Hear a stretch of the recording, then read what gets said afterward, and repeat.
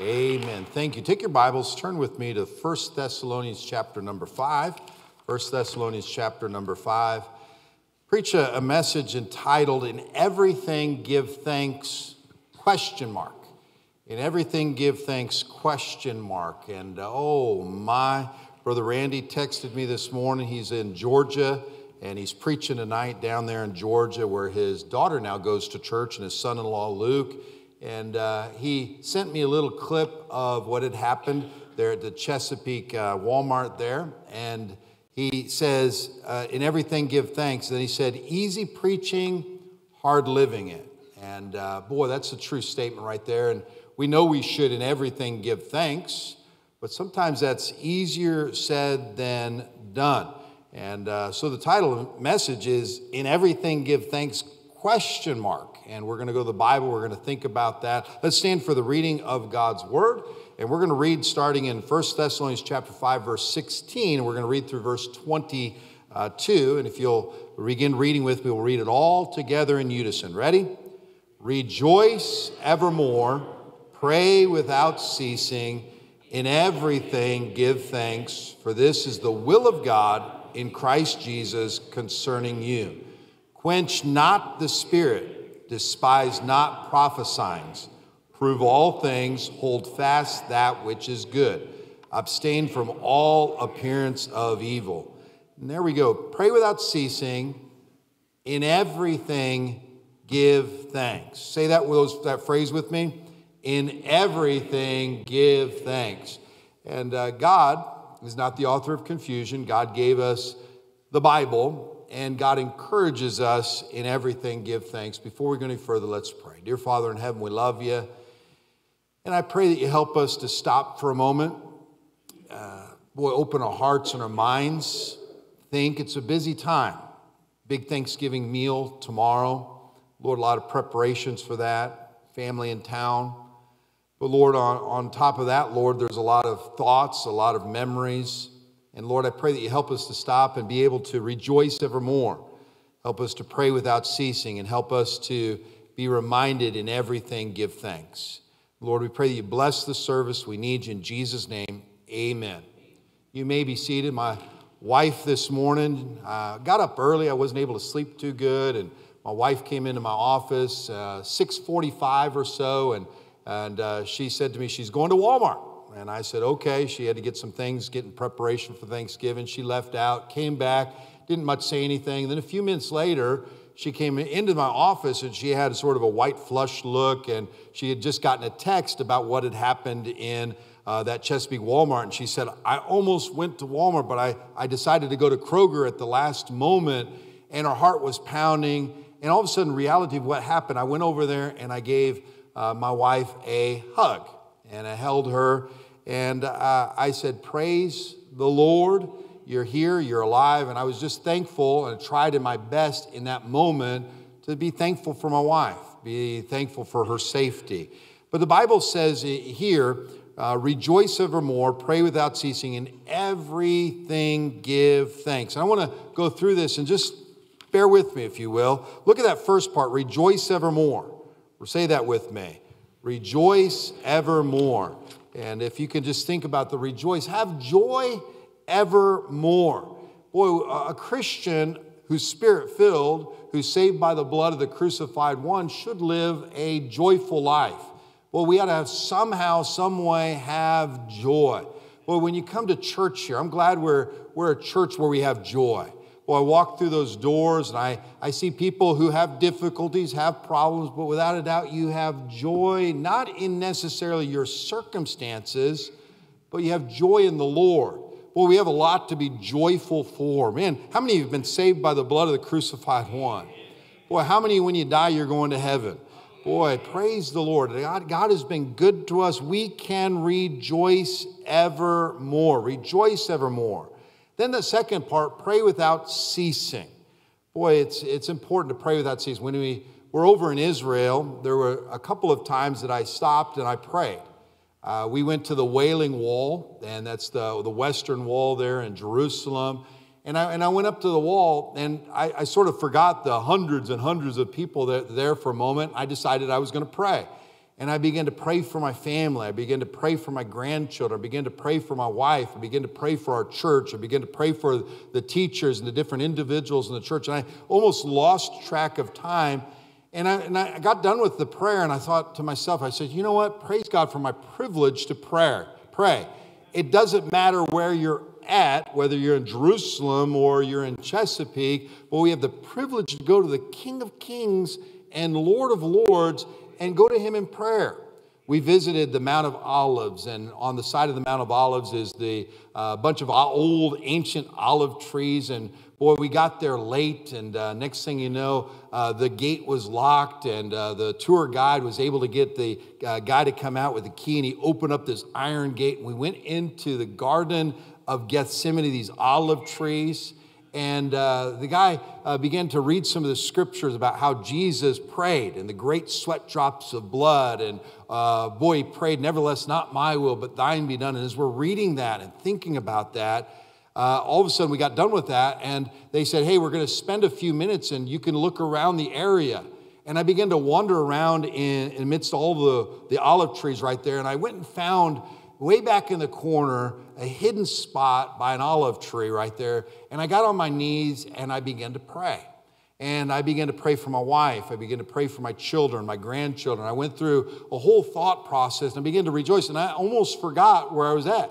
I forgot uh, really what time it was. And I began to go talking to the King of Kings. You know what's neat though? You don't have to go to the Garden of Gethsemane. You don't have to go to Jerusalem. Well, you can pray without ceasing. And Boy, this tragedy happened. I don't mean to keep bringing it up, but it brings a lot of thoughts. Why do the heathen rage? Well, they just do. Uh, all throughout the, the, there's a statistic, there's been over 600 uh, mass shootings in the United States this year, and they consider mass shooting where four people get hit with a bullet. And you just think about the, the, the tragedy of the world today. We live in a wicked, uh, terrible world. Uh, boy, what can we do? We can pray, pray without ceasing. We can pray for the city of Chesapeake. We can pray for all that are in authority. We can pray for uh, the pastor and the deacons and the leadership of the church. Then, you know, we can uh, pray and then we can lead, have that prayer lead to where we comfort people and we give out the gospel. But let's pray for people. Well, we as a church, I, I, I prayed for the, the, the, the sheriff today prayed for the, the, the mayor today. I prayed for our governor today multiple times today. And you know what? I, I want to be able to say that I prayed for those people. I prayed for the, the victims and the people that are going through a difficult time. And then I want to be prepared through prayer to realize that God can use me as a Christian to be a light in a dark world, make a difference. And prayer does make a difference. Now, look at this. In everything, give thanks. Say that with me. In everything, give thanks. In everything, give thanks. In everything, give thanks. Wow, that's rough. In a shooting, you can give thanks. In a difficulty, in a valley, you can give thanks. In the death of a loved one, you can give thanks. When things are not on top side, you're down in the lowest of lows, you can give thanks. When the doctor calls and said it's cancer, you can give thanks. When all of a sudden you, you have a financial uh, burden or you lose a job, you can give thanks. Well, the Bible says, in everything give thanks, for this is the will of God in Christ Jesus concerning you. You know, I was thinking of in, in the short term, it doesn't seem like it's possible. In the short term, it seems like it's impossible in the midst of this situation to give thanks. What am I thankful for? Death? What am I thankful for? When we were over in Jerusalem, we went to the city of David and they had excavated the pool of Siloam. And you're there. And uh, seven years ago when I was there, they've done a lot of excavations and they just found the pool of Siloam. And so they dug this whole thing out, and then they found this staircase. And the staircase was not really a staircase, it was actually a, a, street that led from the city of David to the Temple Mount. It was a main street where they had a market on each side. It was one of the main streets. And then all of a sudden, they, underneath on the right side right there, there's a gutter. And in the gutter, there's a gutter right in there. And the, the tour guide began to say, when we dug this out, you know, inside of there, they found a lot of different things. This, the, the time period that this was at was 70 AD and the destruction of Jerusalem. The Romans had surrounded the city and finally conquered. And he said, right there inside there, the gutter of the, the sewage gutter right there, people hid. They, they hid. That's where they died. And there's writing about that. And I remember looking at that and thinking about that and being reminded that, you know what? Whether I die from a Roman siege or I die from a, a, a gunman, no matter what, my life is short. Well, I'm thankful that I'm saved. I'm thankful that the Lord's given me life and breath. And so sometimes it's not the circumstances, but we have things that we can look for to give thanks. I'm thankful I've got friends. I'm thankful I've got the Bible. I'm thankful for God's mercy. I'm thankful that I live in America. Well, I'm thankful for that. And we can, through this, through the difficulties and the, the struggles, we can give thanks. Psalm chapter 18, verse 49. Therefore will I give thanks unto thee, O Lord, among the heathen. Psalm chapter 30, verse 4. Uh, o ye saints of his, and give thanks at the remembrance of his holiness. We can give thanks for his holiness. Psalm 30, verse 12. I will give thanks unto thee forever. It's almost the same as in uh, rejoice evermore, pray without ceasing, and everything give thanks. Psalm 92, verse 1. It is a good thing to give thanks unto the Lord. Boy, Psalm 97, verse 12. Give thanks at the remembrance of his holiness. It says that again. Give thanks at the remembrance of his holiness. In the, in the Holy Land, we went over to a place called Shiloh. And I, I, you know, I've read about Shiloh before, and you know about Shiloh. It's where the Ark of the Covenant was for uh, over 360 years. It's a little bit to the uh, north of Jerusalem and Samaria region, almost right there. Uh, you know, about Benjamin, the northern Benjamin part right there. Shiloh, wow, you remember what happened for this child I prayed? You remember that? Eli fell off there, and as he, the Ark of the Covenant had been stolen, you remember that? Boy, they, they had the, the, the tabernacle, and they set that up for over 300 years. The Ark of the Covenant was there. And, and the guy that was giving us the tour, he'd spent a long time digging there and uh, spent some time with another archaeologist right there. And he was trying to describe some of the recent discoveries that they found. And they found this section right there that was the size of where the tabernacle would have been. The tabernacle in the wilderness, they made it permanent for a while. And all of a sudden he looked and he says, You, right, right where we're standing, this could have been the place where the Holy of Holies was. And then all of a sudden he began to sing, Holy, Holy, Holy. And you know what? It doesn't matter if the Holy of Holies was there. All of a sudden I remembered, man, I serve a holy God, a wonderful God. And you know, when you remember, just like that verse, and give thanks at the remembrance of his holiness, give thanks at the remembrance of his holiness, God's bigger than you and me. Boy, he's stronger, more powerful than you and me.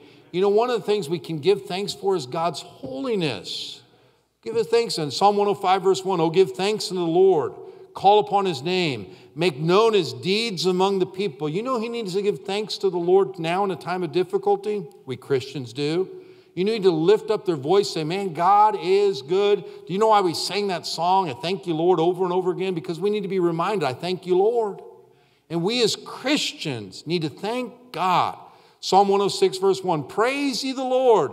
Oh, give thanks to the Lord, for he is good. You know what you can give thanks for? He's good. He's a good God.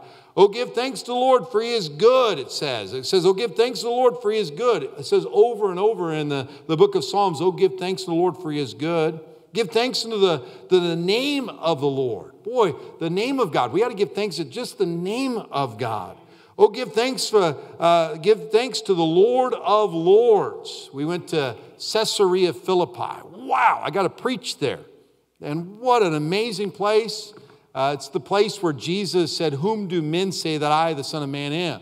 And some say that thou art John the Baptist, some Elias, or one of the prophets. And and when I preached, I, I thought about men get it wrong. Men often get it wrong. And all of a sudden, uh, they, Jesus looked at him and said, But whom do you say that I am? And all of a sudden, the, the disciples made a choice, and Peter got up and he says, Thou art the Christ, the Son of the living God. And, and I thought about that. He's not, and then all of a sudden, if you look back there at Caesarea Philippi, there's this rock Ephesus. It was the place where the Romans uh, set up a poly, polytheistic type of a place where there was multiple gods, and they had these little shelves where they put their little gods right there. And you can see Jesus looking around and seeing all these false gods. He's the God of gods. He's the Lord of lords. He's higher than the highest. He's, uh, he's the true and living God. He's the Alpha and the Omega, the first and last. And because we know the true God, we can give thanks to the Lord of Lords. Then it says, For his mercy endureth forever. And praise the Lord. I want to encourage you at Thanksgiving to give thanks. We're going to take a few moments in just a, in just a moment. We're going to pray. But then we're going to, we're going to take a moment. I want to encourage some of you to give thanks to the great God that we have. Verse number 19, look at this. Quench not the spirit. Say that with me. Quench not the spirit. You know, when we don't give thanks, we quench the spirit. When we don't rejoice evermore, we're quenching the spirit. Don't suppress the spirit. Don't kill the spirit. Don't push it away. Uh, I got back, and my little Amos, two and a half years of age, he was so excited to see me, sort of. sort of. And I, I wanted to give him something. I got him a special treat, and he didn't realize it at the time. And you know what he did? He went, uh, and he sort of did the, uh, and uh, Amos, get over here. Uh, and uh, you know what it is. And here I'm going to give him something good. And uh, McDonald's. I was. Uh, and some of you, that's what you do to McDonald's right there. But, but he quenched, quenched my blessing right there. And sometimes, if we're not careful, God, God's good. The Holy Spirit uh, dwells within inside of you. Quench not the Spirit. Uh, praise Lord. Be not drunk with wine wherein is excess, but be filled with the Spirit. Hey, don't suppress it. Don't kill it. Don't push it away. Somehow die to your flesh. Somehow have a, a, a spirit of rejoicing. Have a spirit of, of quench, of not quenching the Spirit, but a spirit of, of joy and thanksgiving. Despise not prophesying. That's verse 20. Don't reject God's word. Don't reject God's word. Can I say that? Don't reject God's word. We went to Tel Dan, which you remember in the Bible from Dan till Beersheba. And when they, the, the kingdom split, the, the northern kingdom and the southern kingdom after Solomon's death, Rehoboam, and Rehoboam uh, all of a sudden took charge of the southern kingdom. And Jeroboam was a little bit worried about people going back to the southern kingdom to worship in Jerusalem, rightfully so. So, what he did is all of a sudden he created these golden calves, very similar to Aaron in the book of Exodus, right there. And all of a sudden, these golden calves, and he put them in Bethel and he put them in Dan, and he said, These be thy gods, basically. And, and imagine that. Here, here, the children of Israel, God's people, are told by the king, Don't go to Jerusalem. These golden calves, they're your gods. Now, imagine a, a group of people growing up you get a generation, and that becomes normal. It's normal. You walk into Dan, there's a altar right there, and uh, these golden calves, and all of a sudden you've heard it over and over. These are your gods. These are your gods. You know about your gods in Bethel, and you know you got your your your, your God in God's in in uh, in Dan right there. And over and over in the Bible, it'll say things like this: He did that which was evil in the sight of the Lord and followed the sins of Jeroboam. In other words, king after king after king after king after king, people after people after people after people, rather than follow the word of God, they despised prophesying. They despised the word of God. And they decided to worship these golden calves rather than true and living God. We do the exact same today when we get off the Word of God and we follow the tradition of man. Uh, we follow the world's cultural Christianity, you might say. But we are not to despise prophecy. We're not to despise the Word of God. We're to hold tight to the Word of God. But so often our Christianity, if we're not careful, is just like the Christianity of the northern kings, where they, boy, followed the sins of Jeroboam. By the way, verse 21 prove all things, hold fast that which is good. prove all things, hold fast that which is good. Well, we ought to be like the Bereans who searched the scriptures daily whether those things were so. You ought to know why you believe what you believe. Praise the Lord when the pastor preaches the word. I ought to preach the word. But eventually, you got to open your heart and your mind and understand and read the Bible, delight in it, be like the Bereans. Boy, what if pastor got up here and preached heresy? You ought to know if I do. Why? Because the Word of God, you got to be close to the Word of God and understand the Word of God and prove all things, hold fast that which is good. Then the last one, abstain from all appearance of evil. Abstain from all appearance of evil. It is so funny. We, we're so funny. It was, it's just funny. You go to the Holy Land, you know, you know who goes to the Holy Land? A bunch of tourists. There was, there, there was one place, went to Capernaum, there was 19 tour vans or tour buses there, 19. Couldn't even find a parking lot for these tour buses. They're just every, you know, tourists everywhere. It's ridiculous. Why do tourists go to the Holy Land? Not for vacation. They go to see the sights of the Bible. That's what they're there for. Where did Jesus walk? And you know what's funny about these tourists sometimes? Boy, they, they're there in the Holy Lands learning about the Lord Jesus Christ. I'll give you an example. There was a, a if I could say, pastor, Christian worker who went to the Israel and in the same hotel as me. And uh, I, I, ate dinner with them. And next thing you know, I, I, saw them sneaking off to the room. They'd went and bought some wine, wine bottles, and they were hiding the wine bottles going off to the room. And I thought it was ridiculous. If, if you think wine's okay, why are you hiding it? Abstain from all appearance of evil. And I thought this is absolutely ridiculous. And first of all, it's wrong. But then, second of all, good night, you're in the Holy Land. Abstain from all appearance of evil. I want to say it again abstain from all appearance of evil. Abstain from all appearance of evil. Wine is a mocker, strong drink is raging, and whosoever is deceived thereby is not wise. Now, that's not that that is the end, but I want to do this. You know, today I've tried my best to have a good spirit. Tried my best to have a good attitude. I'm reminded in everything give thanks. I want to be able to give thanks. But also know it says before that, pray without ceasing. What I would like to do is, as a church, I'd like to get on our knees if possible. I'd like many of you, and there's going to be a bunch of you that come forward and get on knees. Why couldn't we take 10 minutes and just pray? Pray for who? Pray for the people that worked at that Chesapeake store, the dad or the mom that's going to go to bed tonight without their spouse. Pray, pray for the people that are involved. Pray for the, the people of Chesapeake, our mayor, city council members, the governor, the people that are involved. Pray for the people over Eva Gardens who have had cars going by that house all day long, and police officers, and who they knew that they were neighbor.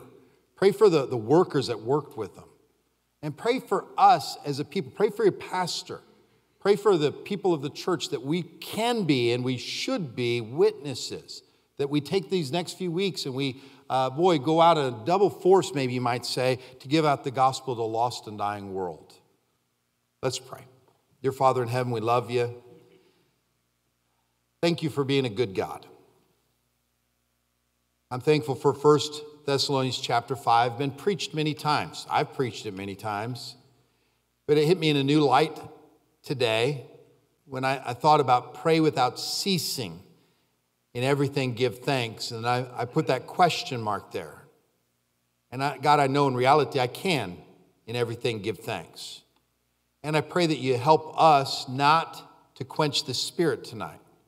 Help us to not despise prophesying. Help us to abstain from all appearance of evil. Help us to rejoice evermore. Help us as a church to, even tonight, not everybody can get on their knees, Lord, but many can.